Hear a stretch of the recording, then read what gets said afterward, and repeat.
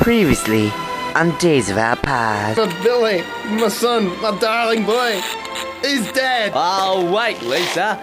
Before you go, there's something I have to say. Sure, John Howard. What is it? I'm your father. What's that noise? It sounds like ticking. It's coming from that briefcase. It sure is. Oh my god, it's a bomb! Did everything go according to plan? It most certainly did. I allowed Miss Muffin to give me the bomb, and I went along with the explosion. There is one more thing we need. It's a matter of national emergency. But I think there's someone here who can explain it a little better. Who's there? Oh my god. Prime Minister Rudd! Hello, Doctor. There is something we need to talk about. Like pastry in the oven, these are the days of our pies.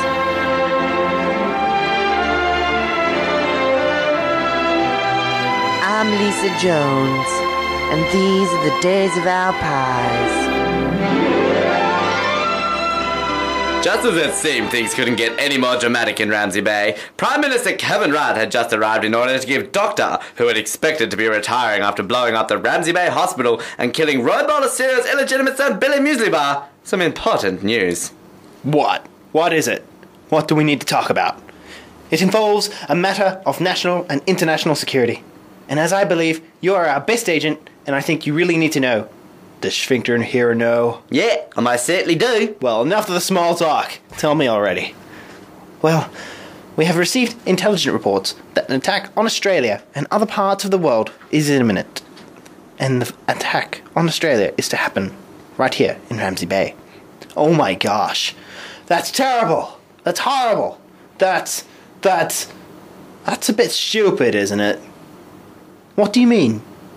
Well, out of everywhere here in Australia, why attack a small town like Ramsey Bay? Because Ramsey Bay is such a beautiful place and peaceful. An attack here would de- just devastate Australia. Fair call. But who? Who would want to cause such horrible amount of panic and death on Australia and the world? It's a right unbelievable threat, I tell ya. Almost laughed me chops off when I was told by old Ruddo, ye. Who? Who then? Tell me. Well, it's the aliens, Doctor. The aliens from space.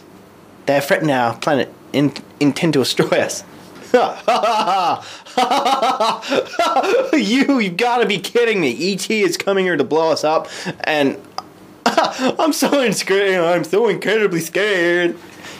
Believe it or not, Doctor, it is happening, and in only three days. So we are to prepare you, as you are Australia's and Ramsey Bay's only hope. Meanwhile, back in Ramsey Bay, not too far from the ruins of the hospital, town policeman Frank Cakeman was driving general store owners and husband and wife George and Jennifer Pyman, along with the as previously mentioned now deceased Billy Muesli Bar's illegitimate father Roy Baldessario, in search for Doctor, as well as newest town resident and recently discovered long lost daughter of former Prime Minister John Howard, Lisa Muffin. Ah, Jennifer, why must Lisa and this Dr. Guy be so hard to find? Why must new people come into our beautiful town all the time?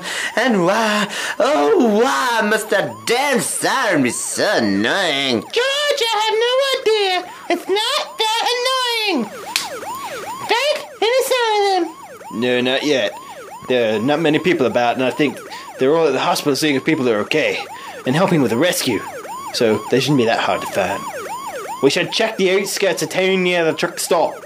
That's where the out-of-towners meet sometimes before coming into Ramsey Bay. Good point, Roy. And I should remember what the doctor looks like immediately.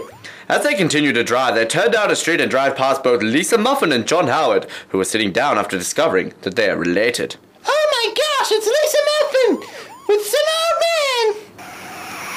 Frank jumps out of the car and takes out his gun and points it at Lisa. Hold it right there, Miss Muffin, you fine-looking little specimen.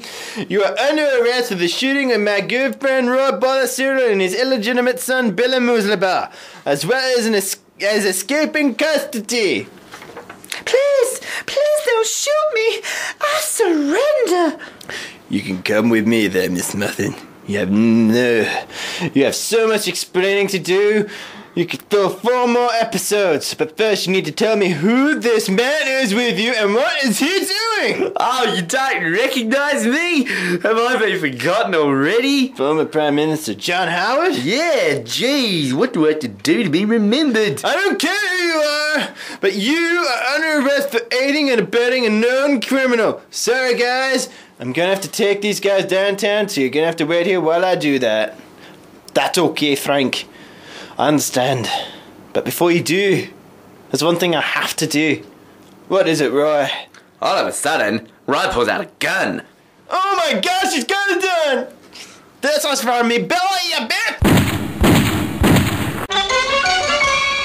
Who did Roy shoot? How on earth did he get a gun? Will Doctor and Agent Sphincter and Kevin Rudd be able to prevent the alien attack? And what the hell is with Jennifer's latest hairstyle? Find out next time on Days of Our Pies.